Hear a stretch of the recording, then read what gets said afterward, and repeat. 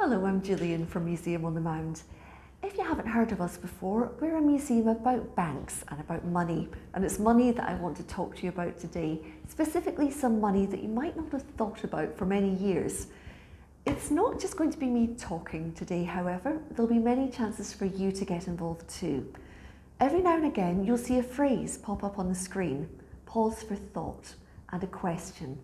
When you see that, this is your chance to stop the video and to answer the question, maybe with the people you're around, or if you're watching this on your own, just to have a think about the question. But as I mentioned, it's about money, and that's where I'd like to start today. Specifically, I'd like to start with this object in front of me here. You might recognise this. Perhaps you used one of these. Maybe your parents did. This is a home safe and these were given out by banks as a way of helping you to save at home. They were quite cunning in many ways.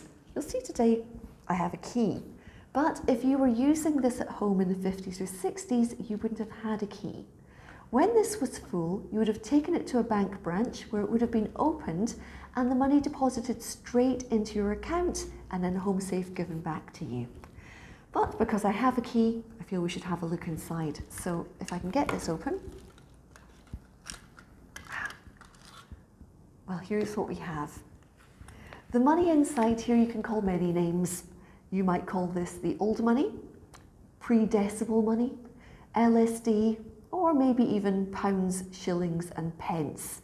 But it's certainly money you won't have used for a long time. Let's have a look more closely at what those coins specifically were. I have some here. Starting from the largest of our coins, we have the half crown. Next to that, we have the florin,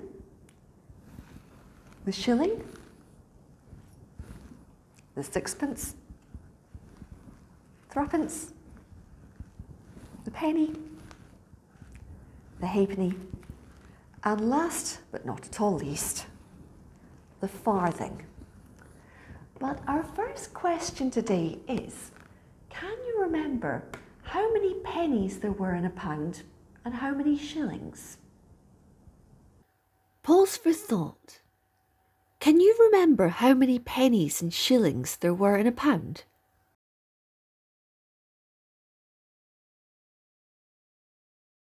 So did you get the answer right? Well, there were, of course, 20 shillings to a pound or 240 pennies. But why were there 240 pennies to a pound? Well, this goes back hundreds of years to when we had silver pennies. If you put 240 silver pennies on a scale, it would weigh exactly one pound in weight. So it all makes sense. But how much were these other coins worth in relation to each other? Well, let's start with the shilling as our base point. There was, of course, 12 pennies to a shilling, or there were four threepences, or two sixpences. Moving up from that, there were two shillings to a florin, and the biggest of the coins were two shillings and sixpence to a half crown. When we were making this film, we were thinking a lot about what these coins were worth and what we'd spend them on. And I spent a lot of time talking to two sisters called Joan and Barbara. They were growing up, working and starting their lives in the late 50s and early 60s. And lucky for us, they could remember a lot about what they spent their money on. Take Barbara, for example, the younger sister. In 1960, she was a schoolgirl and a member of the Guides. After her guide meetings, she would cycle home via the local chip shop. She remembers that a small bag of chips was fourpence, a big bag of chips was sixpence, and you could buy pickled onions for a penny each. So what did she get? Small bag of chips and two pickled onions for a sixpence. Pause for thought. What did you used to buy for sixpence? Did you get pocket money when you were growing up? And what did you spend it on?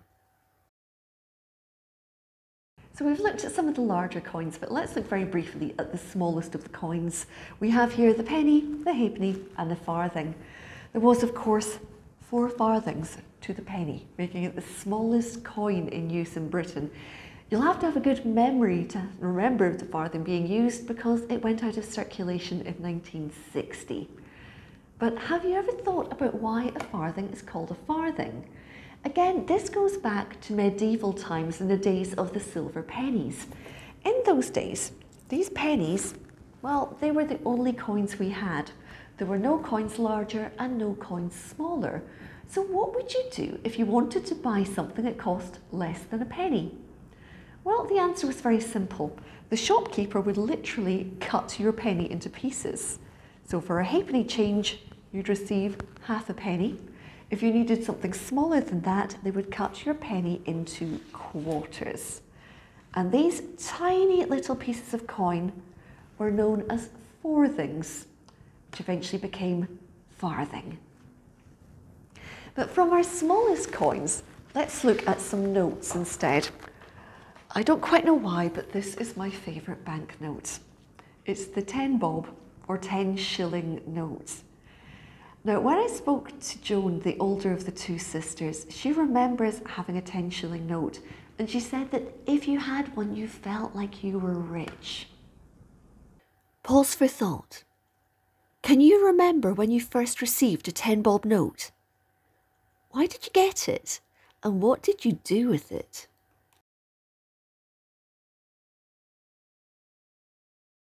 So if having a 10 bob note made you feel rich, having this next note would make you feel very flush indeed. This was curled up in our home safe and is very delicate, but it is a pound note. For many people, the first time they would have had their own pound note was when they received their first wage packet.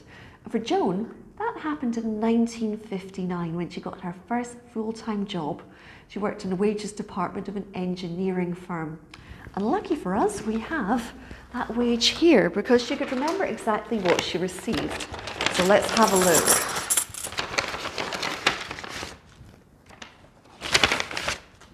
So in here we have two 10 bob notes, so that's a pound. Two, five, six. We've got eight half crowns, that'd be another pound.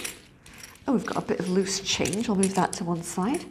We have some more half crowns, another four half crowns, three florins, a shilling, 17 shillings, and our change here, we have sixpence. Two pounds, 17 shillings, and sixpence. Pause for thought. What was your first job? Can you remember what you were paid and what you spent it on?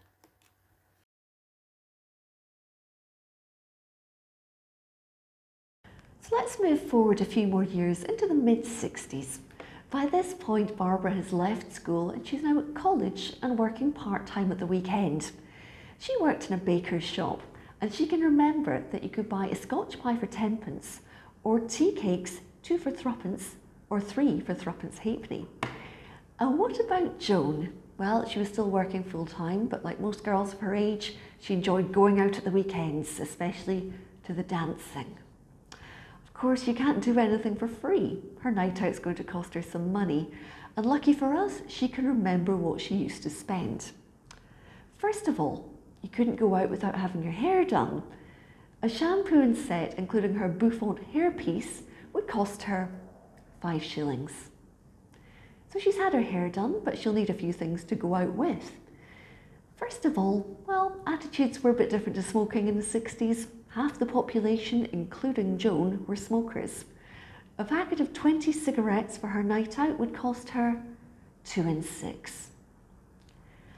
The dance hall that Joan liked to go to didn't have an alcohol licence, but if she wanted to stop in a pub beforehand for a drink, a Bacardi and Coke, her tipple of choice, would set her back another three shillings and fourpence.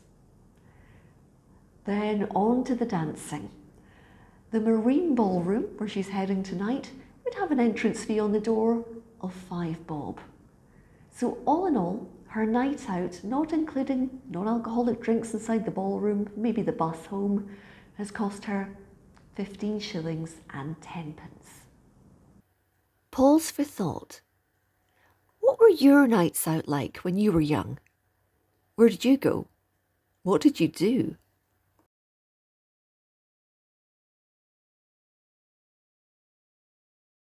So let's move forward in time to Christmas 1970.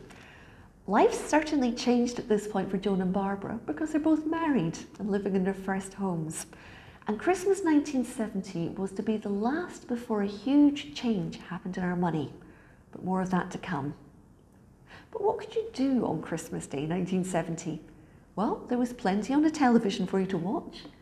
At five o'clock that day, you had Billy Smart's Circus Spectacular. Later in the evening was the Morecambe and Wise Christmas special. And if you were staying up late, a Christmas Night with the Stars with Cilla Black. And what's under your Christmas tree that year? Well, there's plenty for the kids. In the top 10 favourite presents that year, well, amongst them there was my personal favourite, the Sindy doll. You could also have things such as Viewmasters. And very popular that year was the Apollo space landing rocket. After all, the moon landing had only been about a year beforehand, so it was very fresh in people's memories. And what did we have for the adults that year? Well, if you were feeling sophisticated, how about a goblin Teasmade? Or if you wanted to impress your friends, a hostess trolley. Neither of these came cheap though.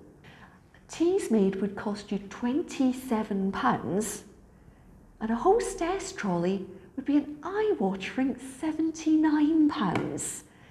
Bear in mind that in 1970 the average wage for a working man was £28.11 and for a woman was £13.19 and 10 pence. Pause for thought. What's your favourite memory of Christmas? What were your favourite Christmas TV specials?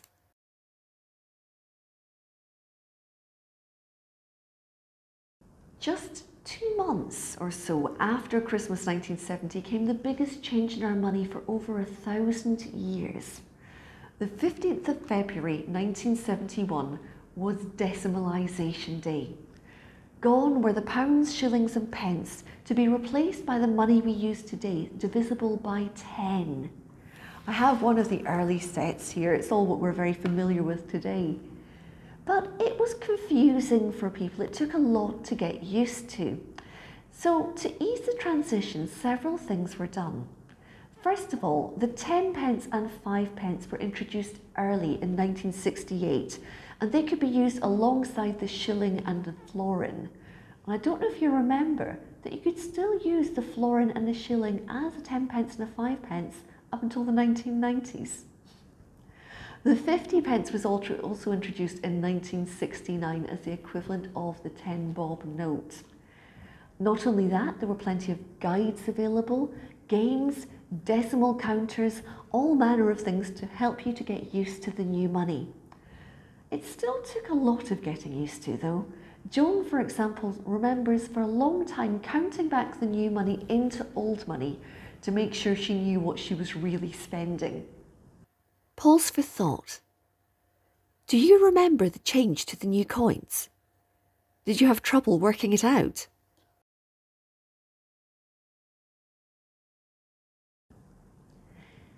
But that's all we have time to look at today. I hope you've enjoyed this look back through the money of the past.